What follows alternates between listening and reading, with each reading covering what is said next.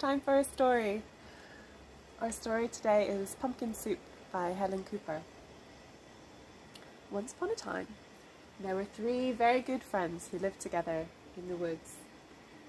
There was Squirrel, who lived together with Beaver, and their other good friend, Monkey. Monkey liked to play the banjo.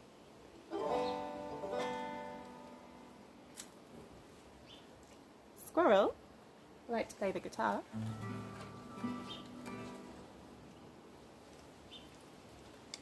And Beaver liked to sing.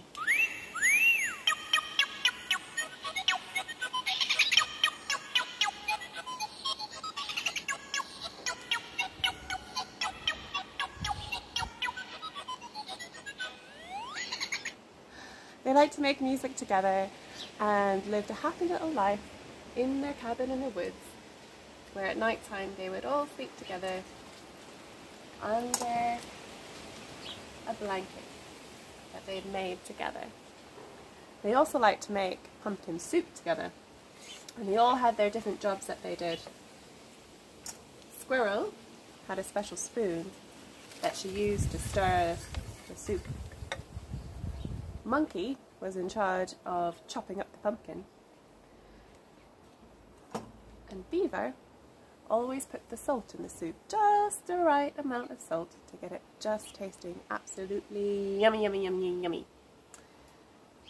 And every night they made their soup together, they made some music, and then they went to bed and had a nice cozy snooze.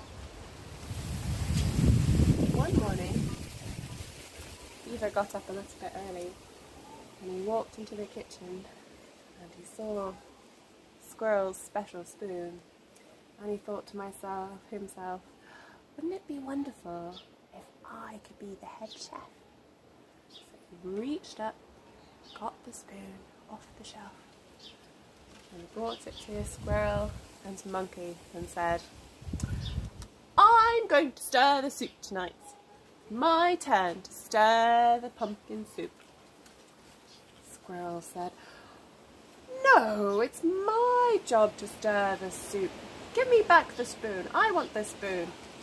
No, I want the spoon, said Beaver. I want to stir. I never get to stir. You always stir. And they started fighting over the spoon, pulling it this way and that way. And all of a sudden the spoon went flying through the air and bopped poor Monkey on the head. Ouch, said Monkey. That really hurts. And then there was a kerfuffle and a struggle and a rumpus and a raucous in the cabin in the woods. Fine, said Beaver. Fine.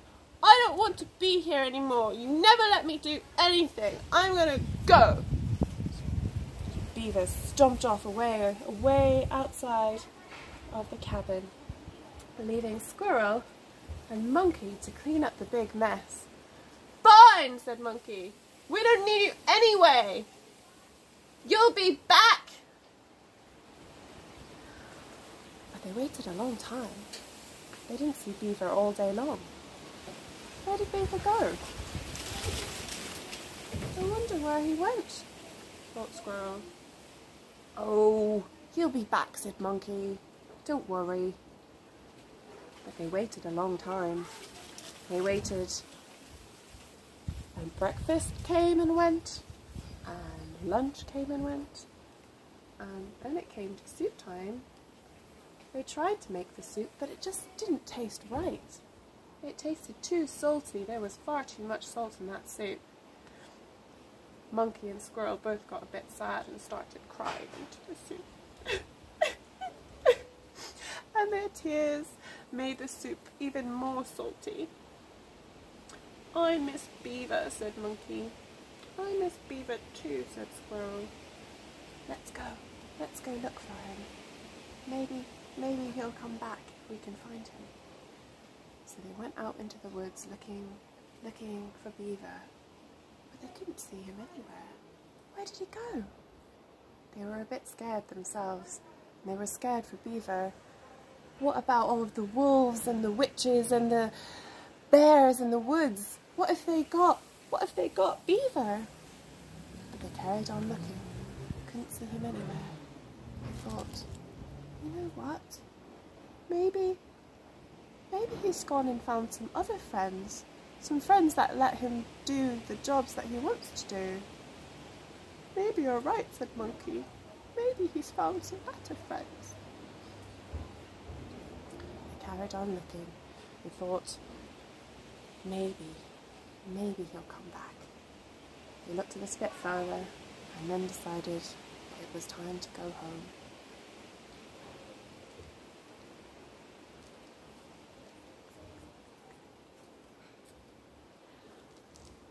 When Squirrel and Beaver, whoops, when Squirrel and Monkey got home, they could see Beaver was already there. Beaver, you're home, they said. Beaver. I want to make some soup. Let's try again. So this time, Squirrel lets Beaver borrow the spoon. And even though Beaver stirred the soup so fast that the soup went everywhere, Monkey and Squirrel let Beaver have a go.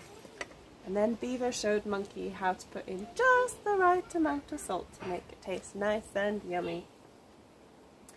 So they stirred the soup and they had a tasty meal together.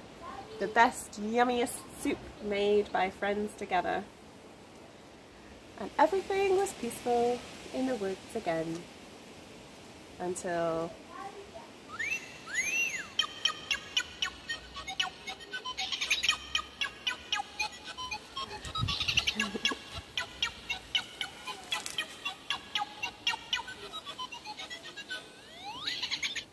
say night to them all.